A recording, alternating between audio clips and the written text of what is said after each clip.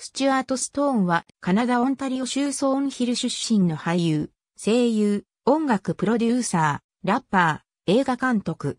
身長170センチメートル。声優としては子供向けの教育的テレビアニメシリーズ、マジックスクールバスのラルフィー役、俳優としては映画、ドニー・ダーコのロナルド・フィッシャー役で知られる。カナダ・オンタリオ州ソーンヒル出身。両親はアイスホッケーや野球のトレーディングカード販売の営業をしていたという。兄弟は姉と妹が一人ずついる。2歳の時に子役としてのキャリアを始めた。トロントを拠点にしてテレビコマーシャルに出演していたが、1984年にヘブンリーボディーズで映画デビュー。以降、カナダのテレビシリーズや映画で俳優兼声優として活躍するが、俳優業を続けるため高校卒業後にアメリカ合衆国カリフォルニア州ロサンゼルスへ移住。その後は地道ながらもハリウッド映画やテレビドラマ、テレビアニメに早くで出演している。また、2005年から2011年までカナダのテレビアニメシリーズ、カール・スクエアードに一人二役で主演を務めた。2001年のサンダンス映画祭でドニー・ダーコの上映会の最中に故障した映写機の修理までの待ち時間の間、自らステージに上がり、即興でラップやダンスを披露したことがきっかけで音楽活動を始める。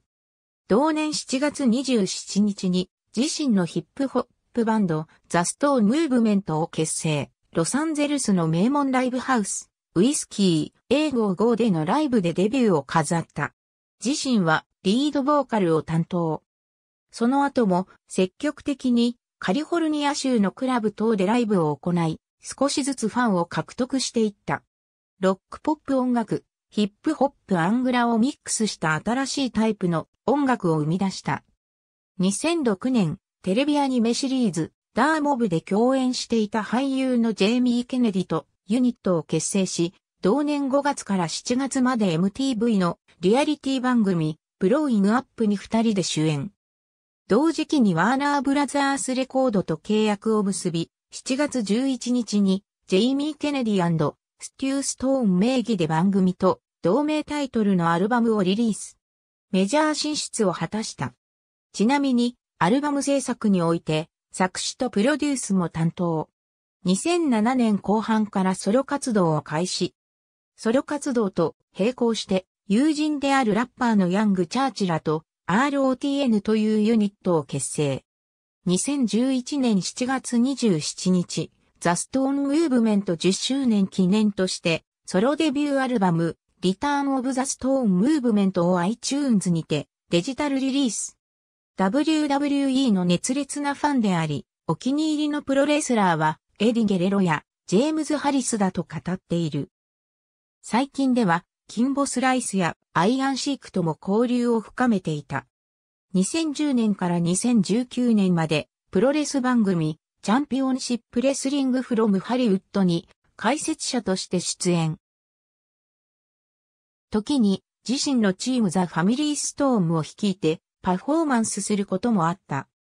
2008年2月、カナダのゲームアニメーション業界で最も権威があるとされているエラン賞の Best Male Voice, Over in an Animated Feature or Television、Production という部門にノミネートされた。近年ではコンポーザーとして自身が出演する映画のサウンドトラックを手掛けるほか、一時期友人らと立ち上げたオンラインチケット販売サイトセイブファンズのチケットアドバイザーも務めていた。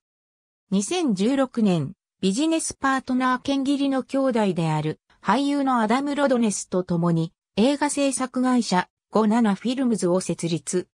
同年、ホラー映画ザ・ホーンテッド・ハウス・オン・カービー・ロードで映画監督デビュー。